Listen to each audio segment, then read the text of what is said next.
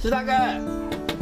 施先生高龄九十一岁，自己一个人住。邮差先生经常来关心他，不止送上营养品问候生活近况，还特别交代他有需要就打电话。我这边朋友你啊，有啥物问题哦，自动打电话我。哦哦哦，对对，没没没。不知邮差我真好，他真关心我了，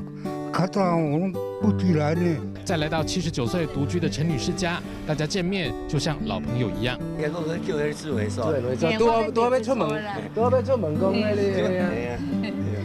啊，真体吼，不要紧，进前安尼吼，恁若有啥个联络我。真够疼痛，每年哦物件来我呢。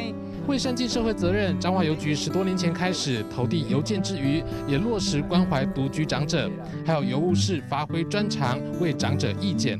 另外像是逢年过节、团圆围炉、寒冬送暖、居家清洁等等，都让长者们倍感温馨。帮助一些比较弱弱势的，还是讲还是讲这个独居人哦，其实心灵上哦还是蛮快乐的。不过邮务工作本身就很繁重，加上人力有限，不可能全面性兼顾到辖区内每一位需要关怀的长者。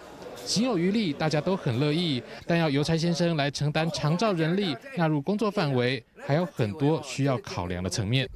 大爱新闻张贵端、蔡玉凯、张华报道。